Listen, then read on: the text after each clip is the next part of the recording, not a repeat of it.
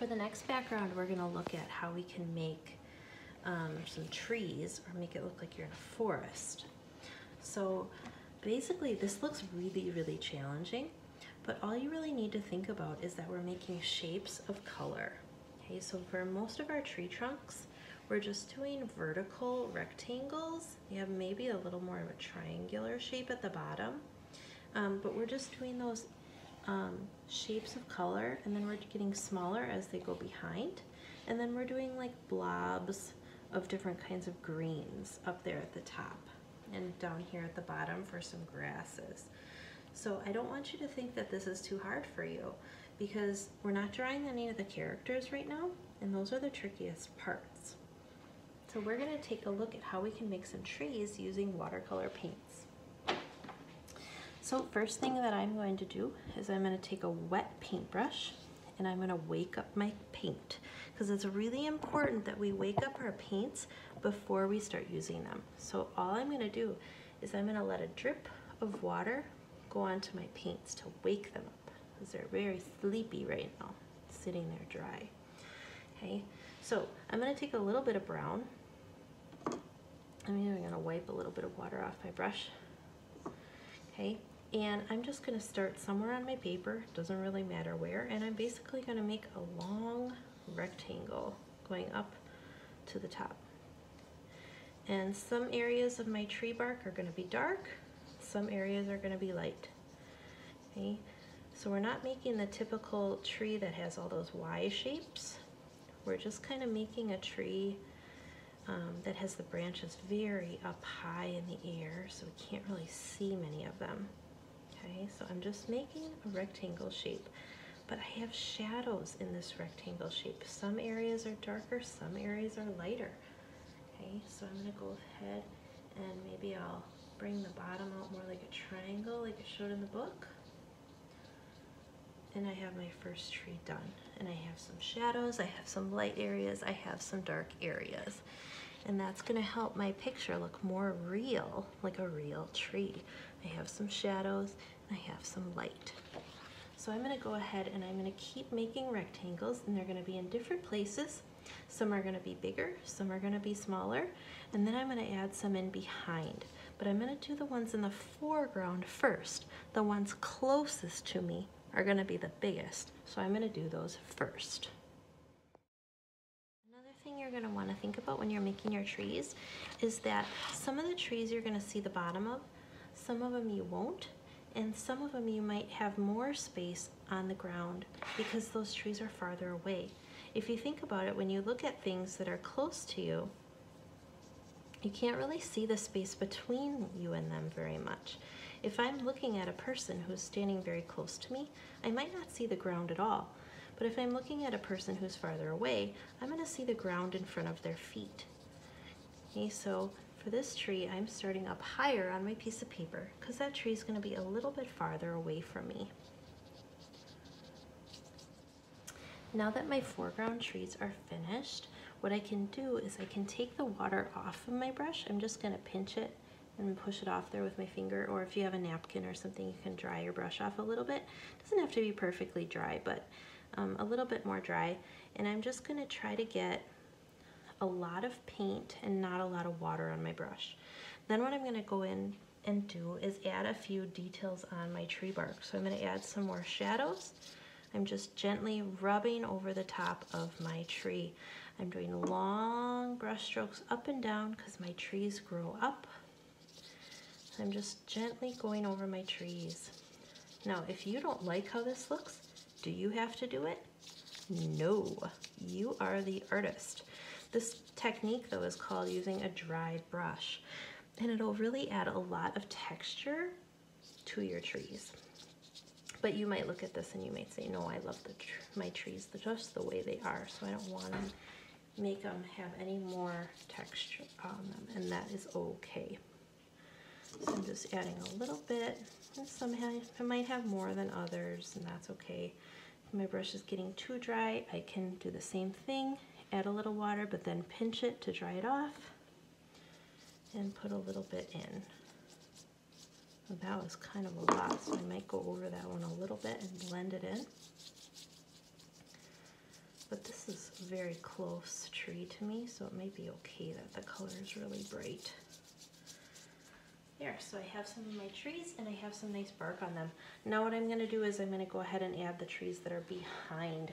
They are in the middle ground. They're not super far away like the ones I can barely see, um, but they are closer and about the middle of the paper there.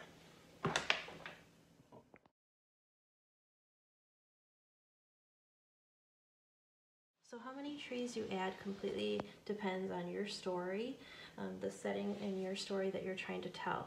Um, so if you want to add more trees in this, you definitely can. If you want less, that's okay too. Maybe you're just making a few trees because it's somebody's yard. You're not really in a forest.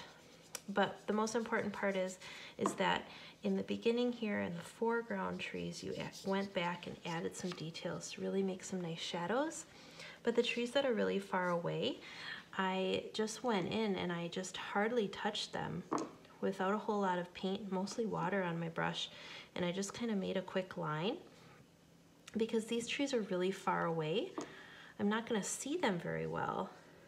So it's okay if they kind of just look like a brown line.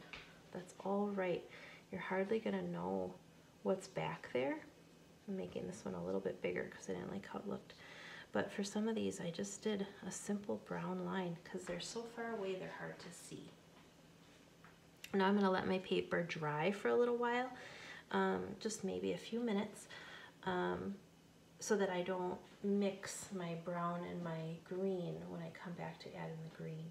But maybe yours is in the snow, so maybe you're not adding any green, maybe you're done. Um, or maybe you want to add some fall colors because maybe you have leaves scattered all over the ground. So the next thing that I'm going to do here is I'm going to add in some green. Again, if yours is in the wintertime and this is covered with snow, you could be fine with this. Or maybe you want to even dip your finger in some, some dark paint. Um, you could make some footprints going through here, like a little trail. Um, or you can just be done if you want to use brighter colors like your warm colors your yellows your reds your oranges. You could do this to make autumn leaves on the ground. So your setting can tell not only where you are but maybe what type of what kind of um, excuse me what season it is. So I'm going to put a little green on my brush wipe off some of the water and I'm just going to go ahead and I'm just going to add some green on the ground so my trees are dry. So my paint shouldn't be mixing a whole lot. And I'm kind of just dabbing my paper really quickly. I'm not really using brush strokes like I did with my trees. One of the reasons, or with my, yeah, with my tree bark, one of the reasons why I'm doing this is because I wanna make sure that there's shadows on the ground. And since grass and, and leaves and things that would be on the forest floor aren't really growing vertically and tall like a tree are. If it's a blade of grass, it would be growing vertically, but it's very short. So I'm just kind of dabbing here and I'm leaving some spots darker um, so that I have some shadows and some texture, especially here in the front of my picture.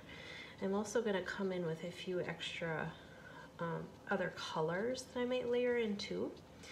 And um, as I get farther away, then a lot of this um, texture that I'm adding is gonna kind of disappear. So I might be actually painting with strokes in between my trees as I get farther away. And then maybe just coming in with my brush and adding some little dots like that or something to add a little bit of texture. But I don't wanna add too much where it's far away because that's the kind of thing that I wouldn't really be able to see much because it's farther away from me. Okay. So I'm just kind of going and working the color in. And then once I have this down a little bit, then what I'm gonna do is I'm gonna come back in and I'm gonna add um, some darker colors. I probably don't wanna use black. I might wanna add a little bit of brown to my brush, just in certain areas to create some shadows. If I use some black, it's probably gonna be too dark and it's not gonna look as real But if I use some dark brown to make some shadows, it's gonna look more like a real forest floor. Because if you really pay attention, most of the time shadows aren't black. They're just a really dark color. So you wanna think about where your shadows might be and add some of those in create some texture and some shadows.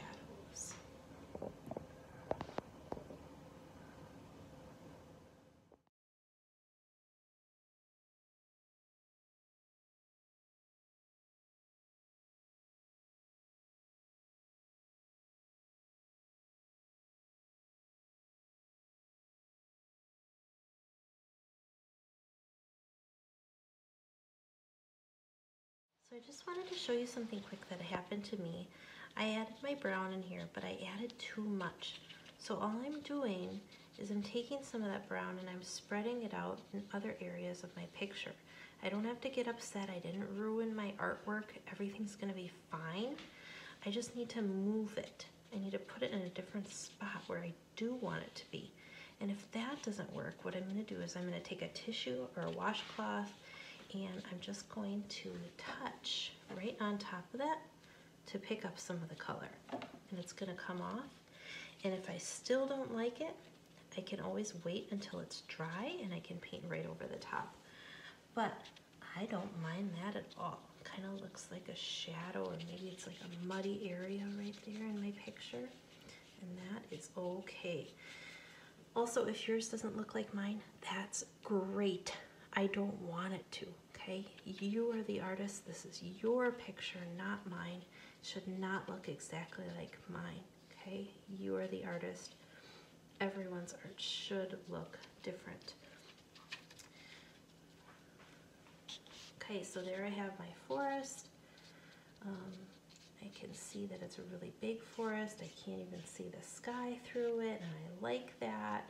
That's a good setting for my characters.